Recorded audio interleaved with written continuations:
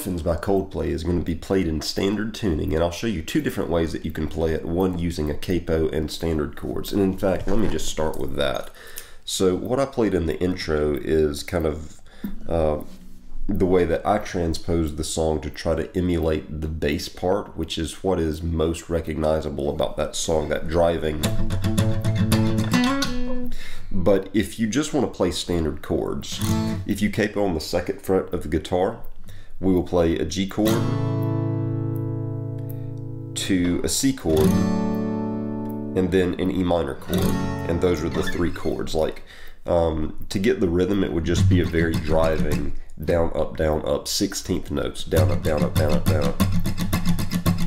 So it'd be a G chord to a G chord to a C chord to an E minor chord. Uh, the way the G chord is being made is ring finger to the sixth string, third fret relative to the capo, second finger to the five string, two fret relative to the capo, open four, open three, open two, and pinky finger on the one string third fret. The C chord, I would play it as a four fingered C chord with ring finger on the sixth string, three fret, pinky finger on the five string, three fret, second finger on the four string, two fret, open three, first finger on the two string, one fret, and open one string.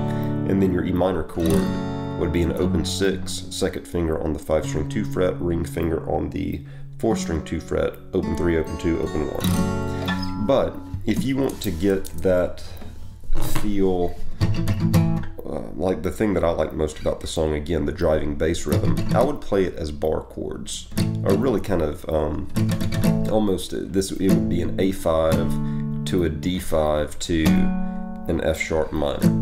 So I've got my first finger on the six string five fret, ring finger on the five string seven fret, pinky finger on the four string seven fret, and that's all that I'm fretting. And I'm palm muting by laying the palm of my hand right across the uh, saddle of the guitar, so that whenever I strum my downs and ups, I'm just having string six, four, and five come through.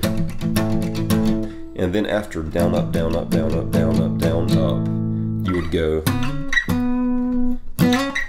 that is, I'm using my pinky finger uh, to start on the 4 string 9 fret and slide up to the 4 string 11 fret and then back down to the 4 string 9 fret. And that uh, that movement right there would repeat after every chord or after every round.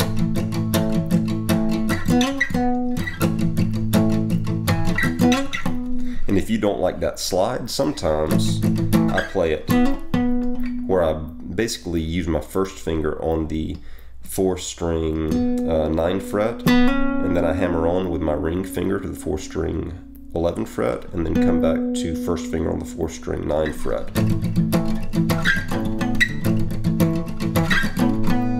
And then you would go to a D5 chord, so I'm moving uh, really probably the best way to do it would be if you've got your A chord going there, just lift up your ring finger and that turns it into a D chord. So now your first finger is barring the 5 fret of string 5, your first finger is also barring the 5 fret of string 6, and your pinky finger is still on the 7 fret of string 4.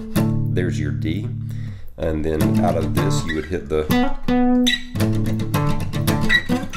however you want to do it. And then the F sharp minor is going to be made with two fingers. And I like this version of it because it keeps the sentiment of the rising progression. Like the bass starts low, rises to the D, and then rises to the F sharp. So we can follow that same rising progression. And that F sharp would be made with, I've got my ring finger on the five string nine fret and my first finger on the four string seven fret and I'm just playing those two strings with my pick, the five and four string that I've got fretted, and then with the pinky put it down on the four string nine fret and slide it up to the four string 11 fret, back down to the four string nine fret, and then back down to the A. Um, at the end of each verse, it sounds like you've got this chord ring out, and then this chord. So what that is, is I've got my pinky finger on the four string four fret, my first finger on the three string two fret, and my second finger on the two string three fret. And I'm strumming from the open five down to the open one. After that chord, it sounds like it plays this chord, which now I've got my pinky finger on the five string nine fret and my first finger barring across the seventh fret of strings four, three, and two. So basically from one version of a D to another version of a D, but and then back into the chorus. Now, now it would be the chorus rhythm of.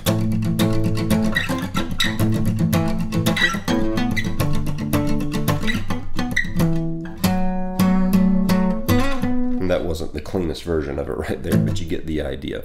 So those are the chords and movements and two different ways that you can think about approaching Orphans by Coldplay. Hopefully this gives you an idea of how to approach the song.